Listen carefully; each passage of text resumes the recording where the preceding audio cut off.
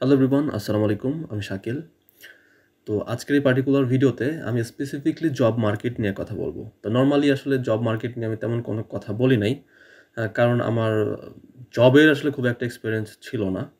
But recently I got hired by Siemens so আমি last দুই, তিন মাস যাবৎ জব মার্কেট নিয়ে অনেক কাটাকাটি করছি জবের ইন্টারভিউ দিছি। এগুলো না হয় আমি আপনাদের সাথে পরবর্তীতে শেয়ার করতে পারব। বাট আজকের পার্টিকুলার ভিডিওতে আমি কথা বলব সফটওয়্যার ইঞ্জিনিয়ারিং অ্যান্ড মেশিন লার্নিংয়ের যে একটা কম্বিনেশন আমি দেখতে পাইছি এই লাস্ট দুই, তিন মাস, এইটা আসলে আপনার ক্যারিয়ারে কীভাবে হেল্প করতে পারে বা আপনি যদি ডেঞ্জার জোনে থাকেন, তাহলে কীভাবে নিজেকে ইমপ্রুভ করতে পারেন, সেটা প্রুফ সহ আপনাকে দেখাবো ওকে সো গাইজ চলেন জব নিয়ে কথা বলা শুরু করি। তো সফটওয়্যার ইঞ্জিনিয়ারিং খুবই পপুলার একটা টার্ম এটা চলে আসছে শত বছর আগে থেকে। মেশিন লার্নিং এটাও অনেক পুরানা জিনিস বাট রিসেন্টলি পাঁচ দশ বছর থেকে খুব বেশি পপুলার হয়ে গেছে, তাই না? দুই হাজার বাইশ সালে যখন আমরা ওপেন এআই দেখলাম চ্যাট জিপিটি তার আগে ছিল মিড জার্নি ছিল, তারপর এরকম আরও অনেক এআই টেকনোলজি ছিল, যেটা আমরা দেখে আসছি।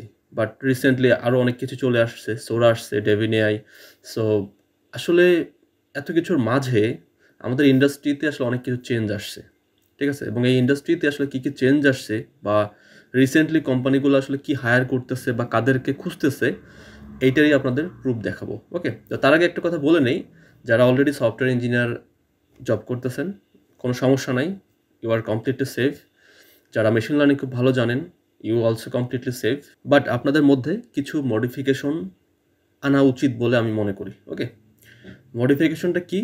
এটা নিয়ে আমি কথা বলব বাট এই কথাগুলো আমার মনে হয় এখানে এভাবে কথা না বলে আমরা জব ডেসক্রিপশনগুলো দেখি জব ডেসক্রিপশনগুলো দেখতে দেখতে কথা বলি। তাহলেই বেশি ইফেক্টিভ হবে। ওকে তো আমি চলে আসছি লিঙ্কডিনে আমার প্রোফাইলে আমি এসে একটা সার্চ দিছি এখানে সফটওয়্যার ইঞ্জিনিয়ার তো জব দিয়ে আমি ফিল্টার করছি, আপনারা দেখতেই পাচ্ছেন। এখানে বেশ কিছু জব আছে, যেটা আমার, আমি দেখতে পাচ্ছি।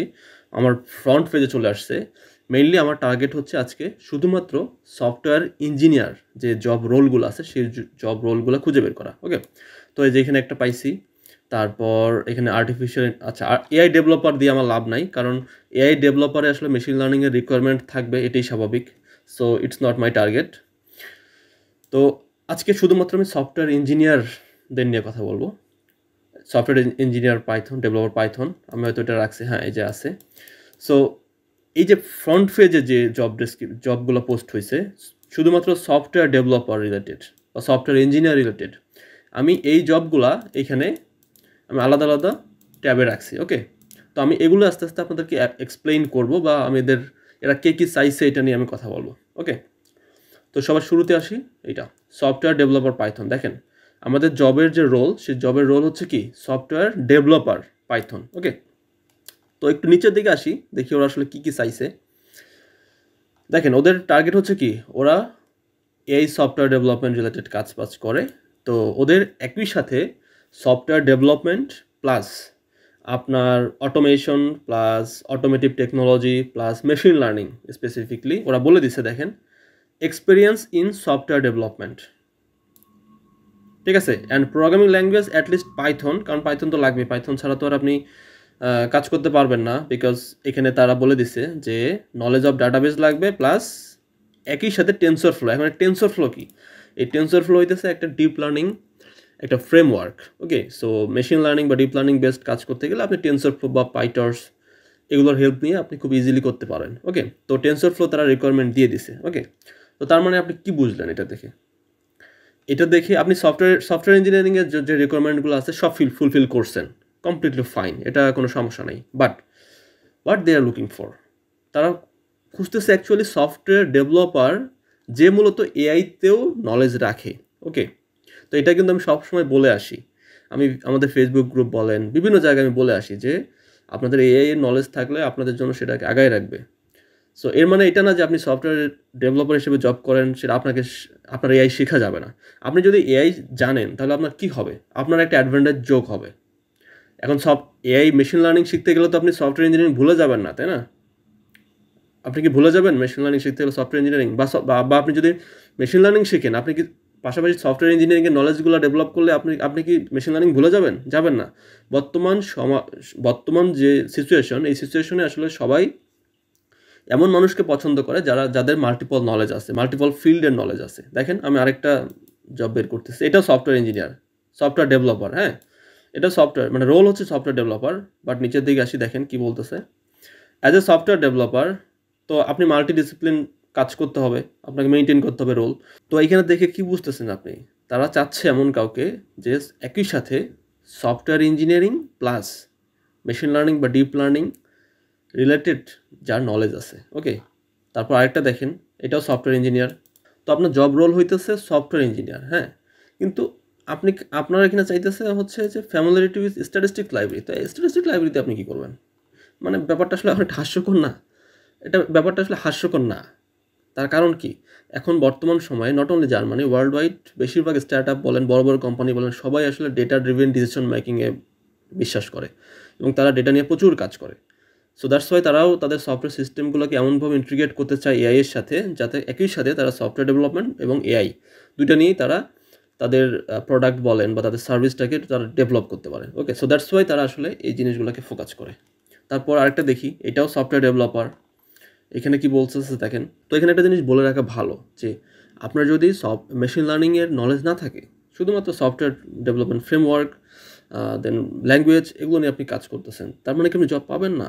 আপনি জব পাবেন না তা না, আপনি জব অবশ্যই পাবেন, কিন্তু একটা ব্যাপার আছে মানে আমি যেটা বললাম আপনাকে যে আমি অ্যানালাইসিস করে যেটা দেখছি হ্যাঁ আমি অ্যানালাইসিস করে যেটা দেখছি যে বেশিরভাগ জবের ক্ষেত্রেই সফটওয়্যার ডেভেলপার চাইলেও তারা আসলে চায় যে যেন তার মেশিন লার্নিংয়ের নলেজটা থাকে। প্রায় সিক্সটি থেকে সেভেন্টি পার্সেন্ট জবই দেখবেন যে এটা চাচ্ছে। এবং বাকি থ্রি থার্টি টু ফোরটি জবে আসলে এটা চায় না বা এটা থাকেও না। হ্যাঁ? তো ওই সকল জবে আপনি অ্যাপ্লাই করতে পারবেন এবং ওই সকল জবে আসলে কম্পিটিশন আরও অনেক বেশি। মানে এই কম্বিনেশনটা আসলে এখনও ওইভাবে মানে মার্কেটে মানে মানুষের সংখ্যা অতটা বাড়ে নাই। তো আপনি যদি সময় থাকতে যদি নিজেকে প্রিপেয়ার করেন, তাহলে আপনি খুব ফাস্ট জব পাবেন। বা আপনার জব সুইচ করা আপনার জন্য সুবিধা হবে, তাই না? তো software engineering plus machine learning এই দুটোর কম্বিনেশন এখন এতটা জনপ্রিয় হয়েছে জার্মানিতে যে আপনি এই দুটোর কম্বিনেশন ছাড়া আসলে জব মার্কেট খুব একটা কল্পনাই করা যায় না। মানে কম্পিটিশন অনেক হাই কারণ সিক্সটি পার্সেন্ট আপনি তো আগে, আগেই সিক্সটি থেকে সেভেন্টি পার্সেন্ট জবে বাদ পড়ে যাবেন, কারণ আপনি তো মেশিন লার্নিং জানেনই না। তো যেহেতু সিক্সটি বা seventy percent job machine learning with software engineering এই related job so that's why আপনি আগেই বাদ।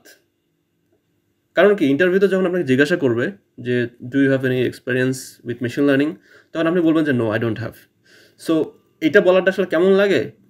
আর ইনস্টেড অফ দিস আপনি যদি এইভাবে বলেন যে ওকে আমি আসলে মেশিন লার্নিং আমার কিছু নলেজ আছে, আমি কিছু কাজও করছি, কিছু প্রজেক্ট করছি বাট আমি যেহেতু মোস্টলি সফটওয়্যার ইঞ্জিনিয়ারিংয়ে কাজ করি, বা সফটওয়্যার ডেভেলপমেন্টে কাজ করি সো আমার আসলে মেশিন লার্নিংয়ের নলেজগুলো একটু ব্রাশ আপ করতে হবে। যদি আমি ব্রাশ আপ করি তাহলে আমি আবার আমার ট্রাকে ফিরে আসতে পারব। আমি মেশিন লার্নিং রিলেটেড যে কোনো প্রজেক্টে আমি আমার আমি কন্ট্রিবিউট করতে পারব। আই এম টোটালি কনফিডেন্ট তো এটা আসলে মানে কি? যারা যে আপনার ইন্টারভিউ নিচ্ছে, তার ভিতরে একটা হোপ ক্রিয়েট করে যে হ্যাঁ ও তো জানে। কারণ এটা জব মার্কেটে এটা হয় এটা ইটস কমন যে আপনি একই সাথে আসলে সব কিছু জানবেন না, তাই না? তো একই সাথে আপনি ডাটা অ্যানালাইসিস জানবেন, একই সাথে আপনি এআই জানবেন, একই সাথে আপনি সফটওয়্যার ইঞ্জিনিয়ারিং জানবেন সব কিছু তো জানা একটা মানুষের পক্ষে সম্ভব না, তাই না? তো আপনার যদি কোনো না কোনো এক সময় করার অভিজ্ঞতা থাকে, সেটা আপনি যদি প্রপারলি এক্সপ্রেস করতে পারেন, তাহলে আপনার জব পাওয়ার চান্সটা আসলে অনেক বেশি বিকজ এটা আমি নিজেও মানে ডিফারেন্ট ডিফারেন্ট ট্রাকে আসলে জব ইন্টারভিউ দিয়ে এটা আমি বুঝতে পারছি। ওকে সো আমি আর আর কিছু দেখাই। আমি আমি আরও কিছু বড় বড় কোম্পানির জব এখানে মানে নিয়ে আসি নাই। যদি সিমেন্সের জব নিয়ে আসতাম বা হচ্ছে বিএমডাব্লিউ বা অ্যামাজন এসব, কারণ এরা এআইতে এমনিতেই কাজ করে। সো স্বাভাবিকভাবে আপনার মনে কনফিউশন থাকতো যে আচ্ছা ওরা তো AI best company so AI নিয়ে তো এমনিতেই কাজ করে। তো এদের জব দেখে স্বাভাবিকভাবে ছোটোদের সাথে তো মিলাইলে হবে না, বা ছোটো স্টার্ট আপগুলোর সাথে মিলাইলে হবে না। সেজন্য আমি এখানে জব যেগুলো রাখছি, সবগুলো আসলে ছোটো কোম্পানি ছোটো ছোটো স্টার্ট আপ এগুলোর এগুলোর আসলে জবের যে রোল বা জবের যে পোস্ট সেই পোস্টগুলো আপনাদের সামনে দেখাচ্ছি। যে এখন আসলে ছোট বড় কোনো কোম্পানি নেই, সবাই আসলে এআই ফ্রেন্ডলি হয়ে যাইতেছে। সো দ্যাটস ওয়াই আপনি যদি সার্ভাইভ করতে চান, একই সাথে সফটওয়্যার ইঞ্জিনিয়ারিংয়ের পাশাপাশি আপনাকে মেশিন লার্নিং শেখা উচিত। বা আপনি যদি মেশিন লার্নিং জানেন, তাহলে মেশিন লার্নিংয়ের পাশাপাশি আপনাকে সফটওয়্যার ইঞ্জিনিয়ারিং বা সফটওয়্যার ডেভেলপমেন্ট রিলেটেড আপনাকে আইডিয়া নেওয়া উচিত। আপনি ফোকাস করেন এক জায়গায় বাট আপনাকে তো কম্বিনেশন কম্বাইন করে কাজ করতে হবে। আলটিমেটলি আপনি মেশিন লার্নিং মড মডেলার তো ডেপ্লয় করবেন কোথায়? আপনি তো আলটিমেটলি এটা ইন্টিগ্রেট করবেন তো কোনো একটা সফটওয়্যারে তাই না? বা সফটওয়্যার সফটওয়্যারে যেহেতু আপনার মেশিন লার্নিং মডেলকে ডেপ্লয় করতে হবে ইন্টিগ্রেট করতে হবে সো দ্যাটস ওয়াই একই সাথে মানে দুই সাইড থেকে আপনাকে আসলে এই দুইটা জিনিসকে কম্বাইন করতে হবে। এটা, এটাই আসলে বর্তমান সময়ে হচ্ছে বা হবে ইন ফিউচারে এটা দেখেন আপনি, এটা সফট জুনিয়র সফটওয়্যার ইঞ্জিনিয়ার এনারা কি বলতেছে? আমরা যদি একটু পড়ি, দেখেন experience with production ML system দেখেন। সো তার মানে কি? আলটিমেটলি আমি একটু আগে যে কথাটা বললাম, সেই কথাটাই আসলে এখানে লেখা আছে। সো মানে মেশিন আপনি সফটওয়্যার ইঞ্জিনিয়ার হন বা সফটওয়্যার ডেভেলপার হন, সমস্যা নাই বাট আপনাকে মোটামুটি একটা নলেজ মেশিন লার্নিংয়ের রাখাটা হচ্ছে সেফ ওকে এবং বর্তমান সময় রিকোয়ার্ড হয়ে গেছে। তো এটা হচ্ছে Python developer job okay Python developer বাংলাদেশে সাধারণত পাইথন ডেভেলপার বলতে বুঝে ব্যাক এন্ডে জ্যাঙ্গো বা ফ্লাস্ক এই ধরনের ফ্রেমওয়ার্ক নিয়ে কাজ করে। বাট আসলে রিয়ালিটি হইতেছে যে, একই সাথে আপনার দেখেন, এখানে কি বলতেছে? এমএল অফসের আপনার নলেজ লাগবে এবং আপনাকে এনশিওর করতে হবে যে ডেভেলপমেন্ট বা আদার্স মেশিন লার্নিং মডেলের যে ফাইনাল ডেপ্লয়মেন্ট এই ব্যাপারগুলো যেন স্মুথ হয়। সো অবশ্যই আপনাকে একই সাথে সিআইসিডি পাইপলাইন প্লাস আপনার ক্লাউড প্লাস হচ্ছে মানে এমএল অফসের ভিতরে যা যা আছে আর কি সব কিছুই আপনাকে লাগবে। সো দেখেন আপনি আসলে সফটওয়্যার ডেভেলপার পাইথন ডেভেলপার এটা দেখে লাভ নাই। আপনার আলটিমেটলি দেখেন এটা হচ্ছে অ্যামাজন আচ্ছা অ্যামাজন কই থেকে ঢুকছে এই জায়গায়? অ্যামাজনের জব তো আমার দেখানোর ইচ্ছে ছিল না। কারণ অ্যামাজন বড় বড়, বা বড় বড় কোম্পানিগুলো আসলে ওরা মেশিন লার্নিং নিয়ে কাজ করে, এটাই স্বাভাবিক। এখানেও হয়তো কোথাও আছে। আমার আমি যদি একটু খুঁজি হ্যাঁ এটা দেখেন। তারা এমন সফটওয়্যার নিয়ে ডিল করে যে cloud based service workflow architecture with machine learning মানে আপনার মেশিন লার্নিং পাবেনই বেশিরভাগ সফটওয়্যারের ক্ষেত্রে আসলে মেশিন লার্নিং পাবেন। দেখেন মেশিন লার্নিং চাইছে বাট বলতেছে সফটওয়্যার ডেভেলপমেন্ট ইঞ্জিনিয়ার তারপর এখানে আসি, এটা হচ্ছে software developer in the field of machine learning তো সফটওয়্যার ডেভেলপার তারা খুঁজতেছে মেশিন লার্নিং ফিল্ডের জন্য। এখানে স্বাভাবিক, যেহেতু তারা মেশিন লার্নিং ফিল্ডের জন্যই খুঁজতেছে, তো স্বাভাবিকভাবেই তো তারা মেশিন লার্নিং লাইব্রেরি বা মেশিন লার্নিংয়ের মাইন্ডসেট এই যে দেখেন বলতেছে কি ML libraries TensorFlow PyTorch database বলতেছে এসকিউএল মঙ্গোডিবি নো এসকিউএল তো স্বাভাবিকভাবেই আসলে মেশিন লার্নিং বা এআইটা আসলে খুবই ইম্পর্টেন্ট হয়ে গেছে, দেখেন। এটা হচ্ছে এআই সফটওয়্যার ডেভেলপার এটা আর কি দেখব বলেন? এআই সফটওয়্যার ডেভেলপমেন্ট তো এটা এআই চাবেই, এটাই স্বাভাবিক। তারপর এটা হচ্ছে সফটওয়্যার ইঞ্জিনিয়ার এটা চাইতেছে কি? সিআইসিডি পাইথন স্ট্যাটিস্টিক্যাল লাইব্রেরি চাইতেছে। স্ট্যাটিস্টিক্যাল লাইব্রেরি সাধারণত যেমন যেগুলো সাইকিট লার্ন তারপর হইতেছে আরও এরকম নামপাই টাম্পাই এগুলো আছে না? এগুলো। তো, তারপর বলতেছে সিনিয়র আলট্রাসাউন্ড সফটওয়্যার ইঞ্জিনিয়ার সেখানে কি বলতেছে? পাইথন লাগবে ওকে মাল্টি ডিসিপ্লিন দেখেন কি বলতেছে? Knowledge of classical image processing and machine learning algorithm ঠিক আছে? এই এগুলো হইতেছে তারা তারা বলতেছে, তারা চাচ্ছে। সো আপনি যদি এগুলো না থাকে, তাহলে অবশ্যই আপনি আগেই বাদ পড়ে যাবেন। আগেই আপনি বাদ পড়ে যাবেন, ঠিক আছে? সো এটাই আসলে ফ্যাক্ট বর্তমান সময়ে। তো তাহলে আমাদের করণীয় কি? আমাদের করণীয় হইতেছে যে মানে আপনি যে ট্রাকই থাকেন না কেন, পাশাপাশি machine learning artificial intelligence deep learning এগুলো একটা ইসেনশিয়াল টপিক হিসাবে মনে করে নিজে নিজে শিখে ফেলা। আমি আবার বলতেছি, আপনি সফটওয়্যার ইঞ্জিনিয়ারিং জানেন ইটস কমপ্লিটলি ফাইন পাশাপাশি সেফ থাকতে চাইলে আপনি মেশিন লার্নিং শিখে ফেলেন।